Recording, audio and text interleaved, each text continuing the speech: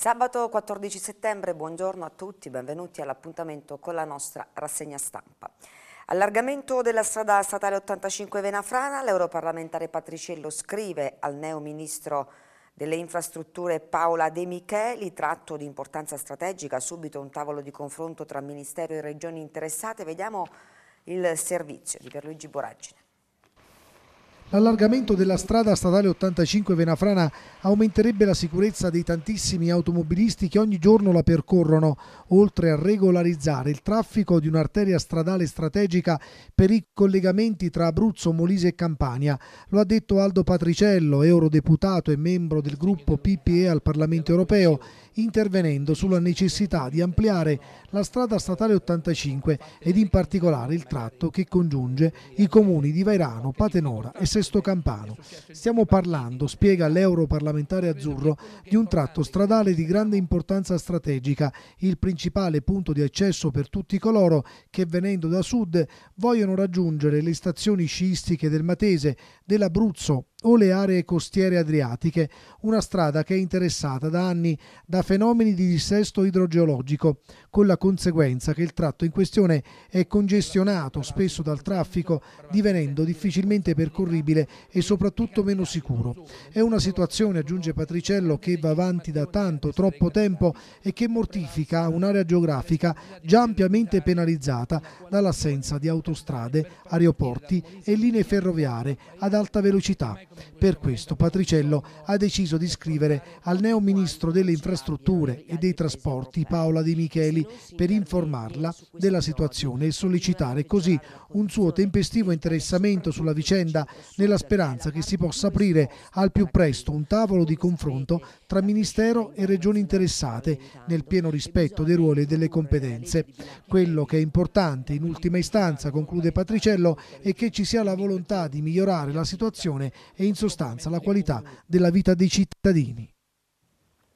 Adesso leggiamo i giornali regionali, primo piano Molise, sottosegretari Federico Silurato da Conte e Di Maio. Il nome del deputato era sulla lista fino alle 8 di ieri mattina, la doccia fredda al termine del Consiglio dei Ministri.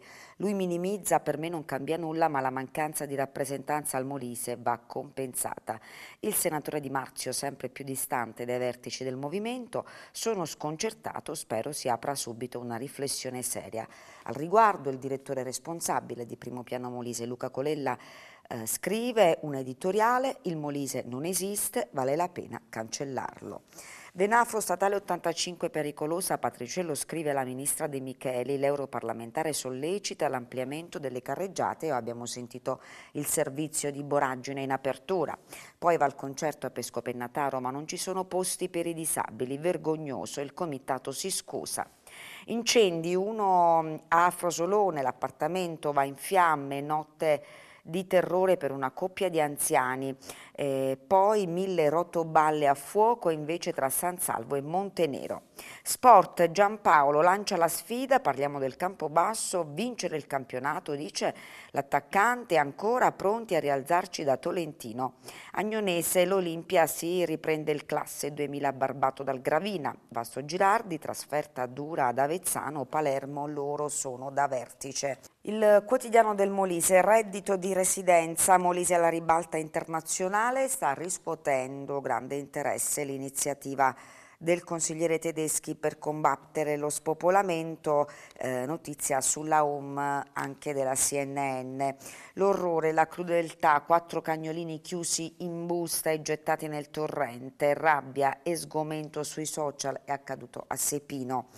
Molise al secondo posto in Italia, l'Istat certifica export da record, mercato estero in crescita per le produzioni locali.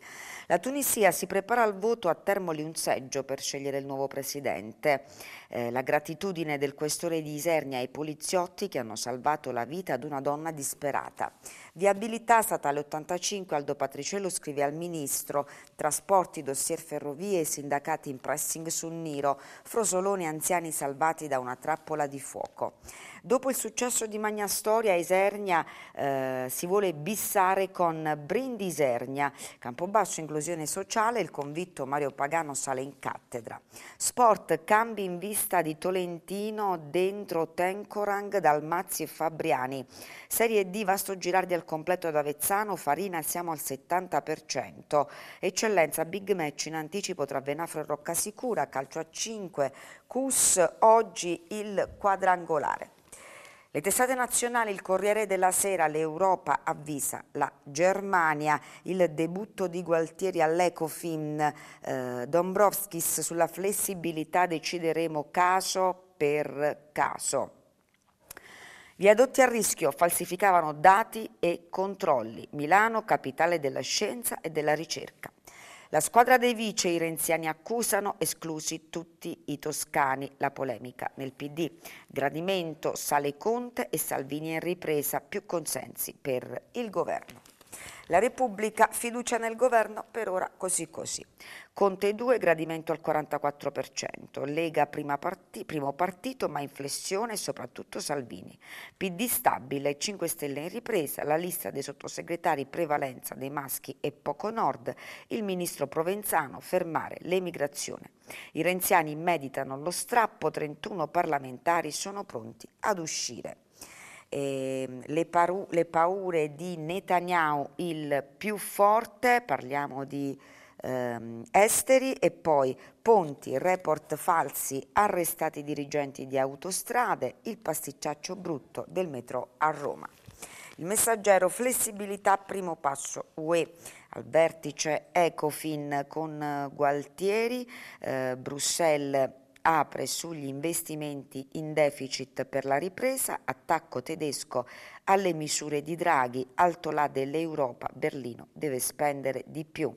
La carica dei 42 tra vice sottosegretari renziani toscani fuori una vendetta, Salvini e Berlusconi pranzo e accordo per le liste regionali.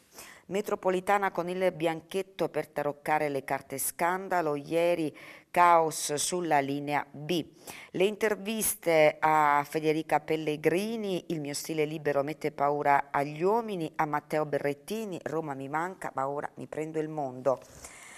Il giornale trombati e piazzati, PD e 5 Stelle si spartiscono le ultime poltrone, il Cencelli premia Uomini e Sud, eh, da Miss Gaff al pluribocciato, palazzo occupato da miracolati di lusso, Berlusconi Salvini fronte contro il governo. Accusato di stupro l'assistente gay di Vattimo, pensiero debole ma carne forte. I falchi UE impicchiata su Draghi e l'Italia fa la figura del pollo. Autostrade, altri arresti, Movimento 5 Stelle via le concessioni. Il Sole 24 Ore, privatizzazioni, nuovo piano per incassare 5-6 miliardi. Gualtieri considera non realistico l'obiettivo di 18 miliardi previsto nel DEF. Per rispettare le condizioni di Bruxelles servono progetti industriali e governance. Sì a vice sottosegretari Castelli e Misiani al MEF, Buffagni va allo sviluppo, tensioni PD, nessun toscano, i renziani all'attacco. Lotta al cambiamento climatico, investimenti ecosostenibili, la svolta green dell'Europa. Movimento 5 Stelle un dossier verde da 44 miliardi. Dopo Draghi anche l'Eurogruppo rilancia chi può aumenti la spesa. Al via la rivoluzione digitale in banca, più concorrenza nell'offerta dei servizi. E andiamo in chiusura con la Gazzetta dello Sport. A testa a testa Sarri Conte, duello a distanza. Alle 15 Fiorentina Juve, alle 20.45 Inter Udinese. Il tecnico bianconero debutta a Firenze, Mandzukic a casa potrebbe andare via. I nerazzurri a caccia della terza vittoria di fila contro l'Udinese si insiste con Lukaku.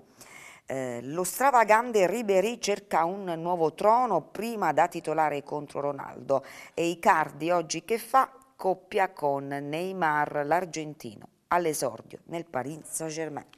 Prima di salutarci, vediamo quali sono i programmi che andranno in onda oggi sulla nostra rete a partire dalle 11 conto alla rovescia, alle 13 camminando Molise, alle 13.50 Musa TV, alle 14 il TG, alle 16 conto alla rovescia.